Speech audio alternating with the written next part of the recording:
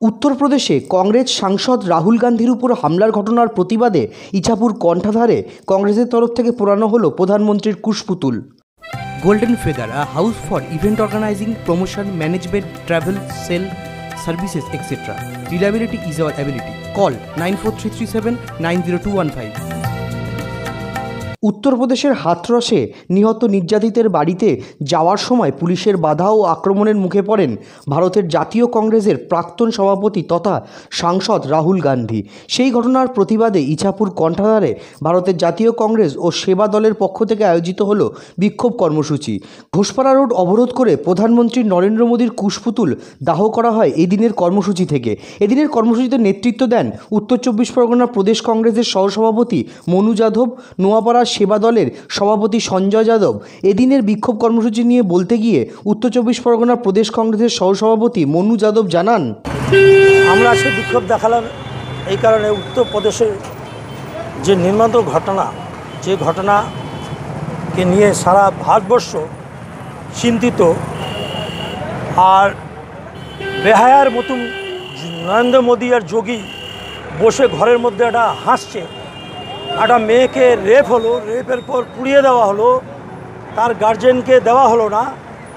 তাকে বলছে রেপ হয়নি তাকে বলছে লাশ নেই লাশ কোথায় গেছে? জিপ কেটে নেওয়া তার জিপ কেটে নেওয়া হয়েছে। তার এই অবস্থাতে সারা ভারতবর্ষে আমরা রাহুল গান্ধীকে ওখানে যখন যাওয়া হলো তখন রাহুল গান্ধীকে পুলিশ ধাক্কা দিয়ে ফেলে দিচ্ছে ঢুকতে দিচ্ছে না। কালকেও দেখবেন আপনারা টিভি চ্যানেল সমস্ত রিপোর্টাররা পাঁচিল টপকে ওখানে গেছে তাকেও ধাক্কা দিয়ে ফেলে দিচ্ছে পুলিশ ঘুরে দিচ্ছে প্রিয়াঙ্কা গান্ধীকে ঠেলে ফেলে দিচ্ছে ঢুকতে দিচ্ছে না। এই যে রাজত্ব চলছে নরেন্দ্র মোদী আর যোগীর উত্তরপ্রদেশের দুপুরবেলা দিনের বেলা ইনকাউন্টার করা হচ্ছে। দলিত মহিলাদের গরিব মহিলাদের ইনকাউন্টার করা হচ্ছে রেপ করা হচ্ছে। সমস্ত চারিদিকে উত্তরপ্রদেশে একদম সন্ত্রাস হয়ে গেছে।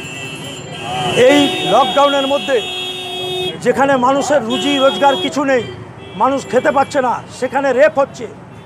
রেপ করার পর পুলিশ তাকে নিয়ে গিয়ে দুটো সময় রাত্রে পুড়িয়ে দিচ্ছে। তার গার্জেনকে দেওয়া হচ্ছে না। ওখানে যখন রাহুল গান্ধীর মতন লোক যখন ওই গ্রামে যাওয়া হয়েছে, রাহুল গান্ধীকে পুলিশ দিয়ে ঘিরে রাহুল গান্ধীর গায়ে হাত দেওয়া হয়েছে, মারা হয়েছে।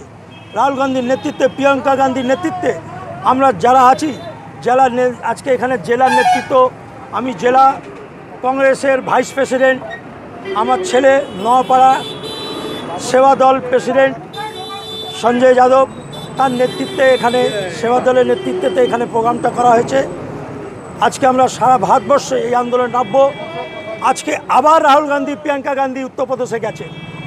আবার হয়তো দেখব আবার কিছু আজকে ঘটনা ঘটেছে। আমরা বারবার রাস্তা নেবে আন্দোলন করব।